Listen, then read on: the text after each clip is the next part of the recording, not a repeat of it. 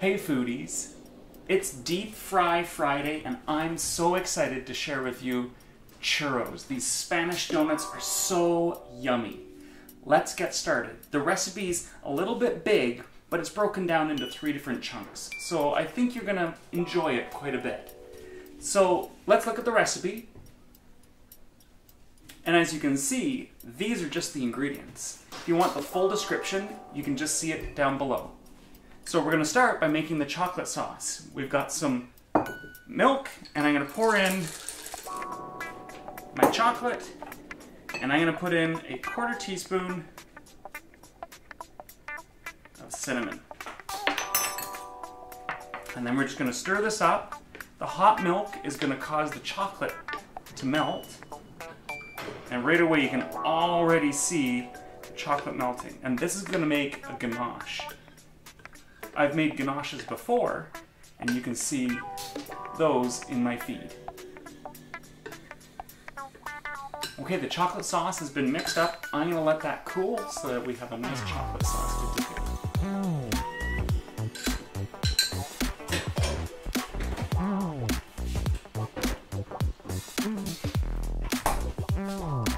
Next, we want to jump right into making cinnamon sugar.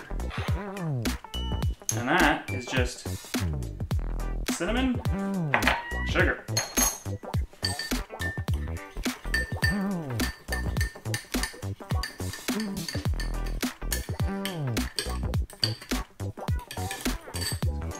Cinnamon.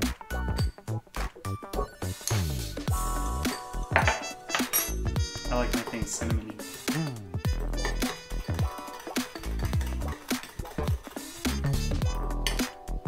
Now I'm gonna set that aside. We're gonna jump right into making the churros. Okay, so we're gonna start by putting our butter.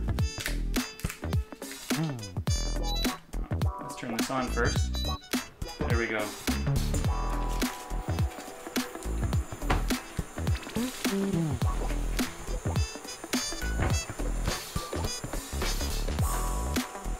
So we're putting our butter in, our salt, our sugar, our milk, and our water.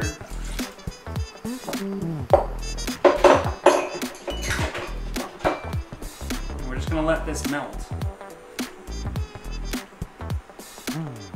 Okay, so my milk and my water and butter mixture is all melted and it's boiling, so now I want to add my flour and stir vigorously.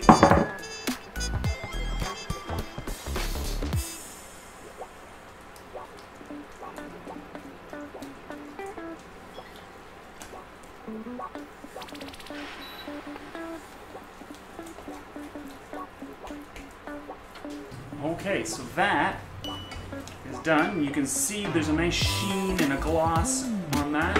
We're gonna add that to our mixing bowl.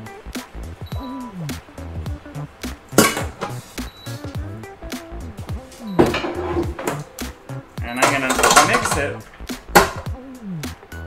That's gonna shut off. And I'm gonna mix it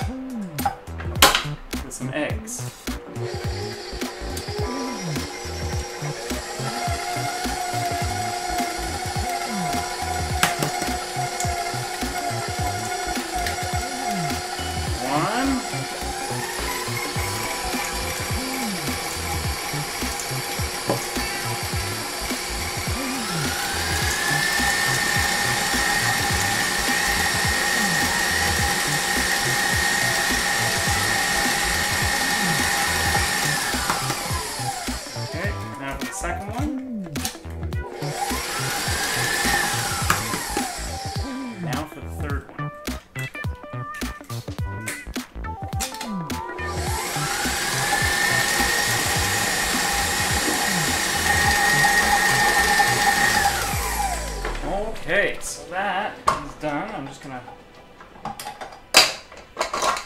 There we go.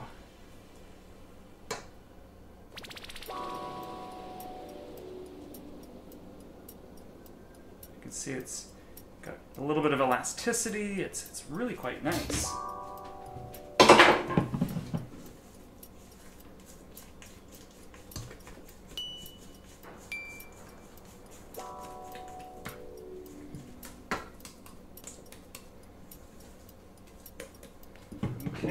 Now we want to put this in our piping bag.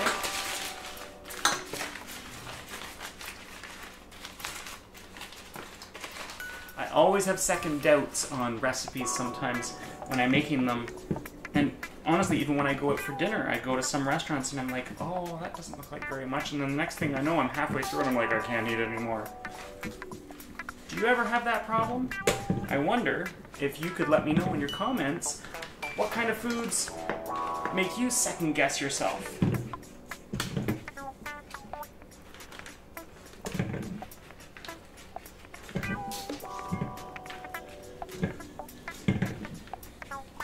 Okay.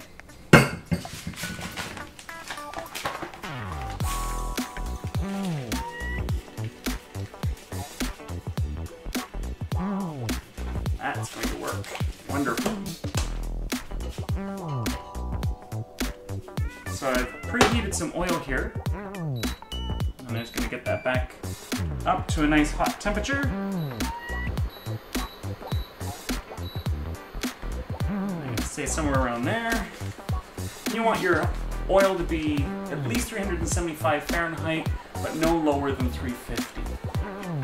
And if it's hotter than 375, you're to burn your churros right away. And if it's too cool, then they're just to get oily and kind of gross. Okay, here we go.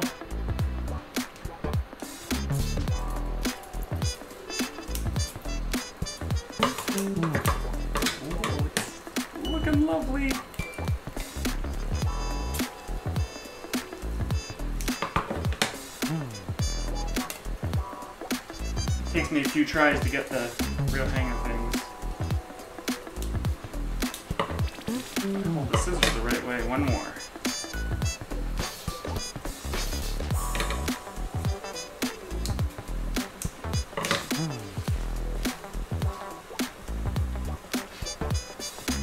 Look at that, you can see them browning already.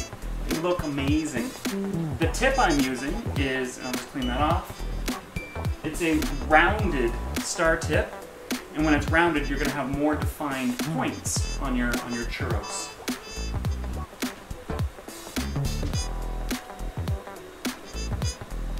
Oh, it smells good so far. Okay, so I'm gonna flip this.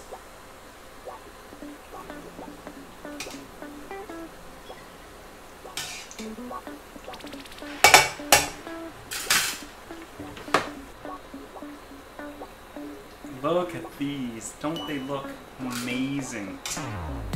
Oh.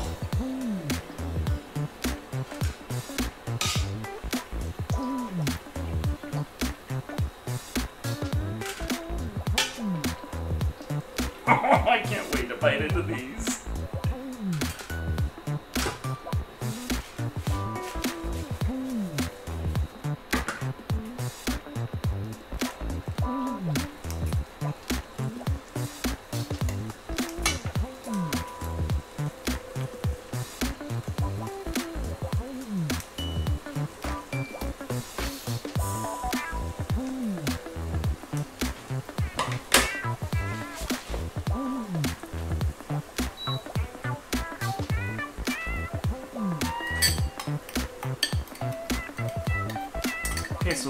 Churros are cool enough. I'm just gonna dip them in the cinnamon sugar. Set them aside.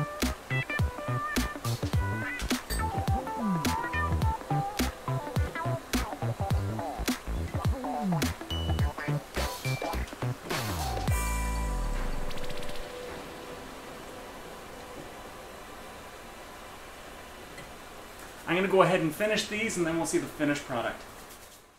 Look at these. Don't they look wonderful? I mean, I had just the right amount of cinnamon and sugar. The chocolate sauce has turned out really well. There's only really one thing left to do and that's try them. So, oh, oh that smells so good. Let's, oh, look at that.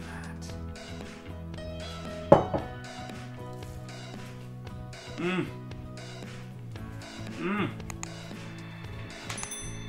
These are so light and airy.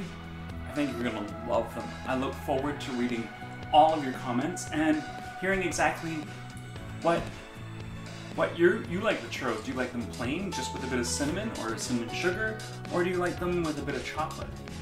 I look forward to seeing you again. Thanks for watching.